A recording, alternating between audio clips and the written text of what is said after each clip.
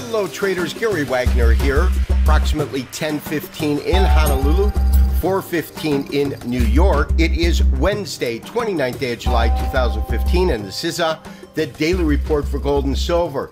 After the FOMC comments came out, it did very little in the market. In fact, the market has been trading within a defined and very narrow range for the better part of last night going into today. Currently, we do have gold trading roughly at 1096, 1095 current print. This is COMEX off about 40 cents on the day, the low 88, the high 1190, call it 1101. When we take a look at spot or COMEX, it is basically the same price, 1096, 1097, although this puts it up about $2 on the day. Again, the low here, 1090, the high 10 1101.97 call it 1102 on the day. However the same cannot be said for silver. Silver is actually up and up almost a full percentage point up about 13 cents on the day.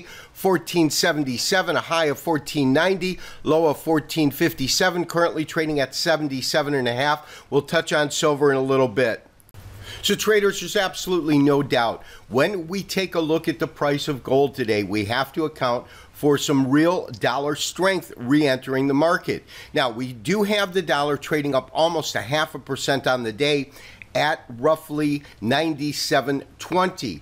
And in terms of how that has affected the price of gold, as I said, we have gold. Let's go back to a spot which shows it at a positive $2. We have gold trading roughly $2 higher on the day, but the real picture is that gold is actually trading about $7 higher on the day, and a strengthening US dollar is taking away about $5.70 of value, and therefore we're getting this very, very modest net change, this net change of about $2.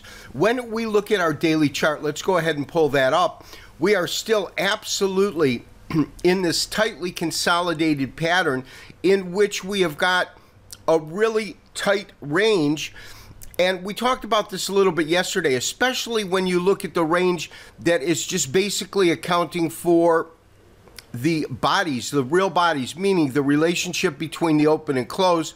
You've got your lows sitting roughly, call it uh, 95, 96, somewhere in that area. We're currently trading at 97. And when we look at the tops, those are just over 1101. Or, in other words, the trading range that we've seen today. Because when you look at this particular candle of today, you can see that the low pretty much hits the bottom of the range and the high hits the top of the range as we talked about yesterday, typically when you have a market consolidating, it is a indicator that a, a, move is about to be made, but you don't have any real sense for which way that market might break.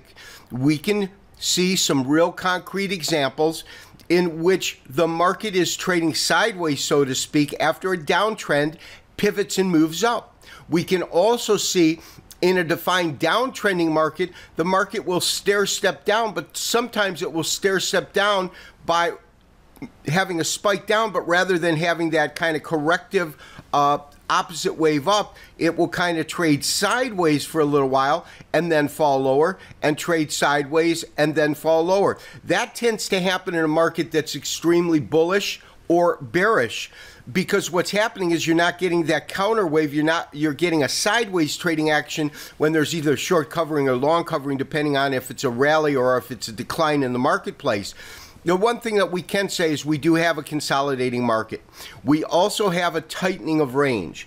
When we look at the most recent tightening of range, that range seems to be diminishing. In other words, if you look at these highs here, and draw them to those highs. If you look at these lows here and kind of spike them to these highs, in a very subtle way, we do have a, a, compression triangle forming, but ever so slightly. You don't have major highs or major lows in this market. You can't draw them from these areas because we've we're coming off of a moderate decline, moderate to strong, to severe decline. And so when you have this kind of a sell off, again, remember this particular day, we saw the market decline the most that it has declined in a single day in the last two years. So, significant, significant day in the marketplace. Now, with the dollar getting stronger and the inability of buying to really overcome that, in other words, you've got a salmon swimming upstream and the current is strong, it's really getting nowhere to nominally higher, which is exactly what we're seeing on the day.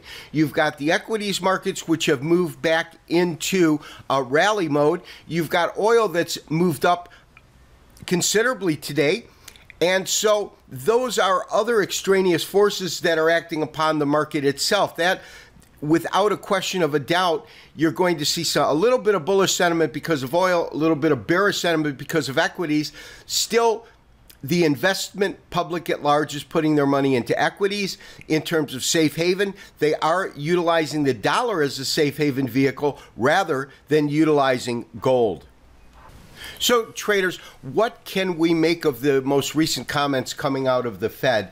Well, on the surface, I have to say very little. But after reading uh, the comments that came out, really the only thing, because nobody really expected any kind of rate hike today.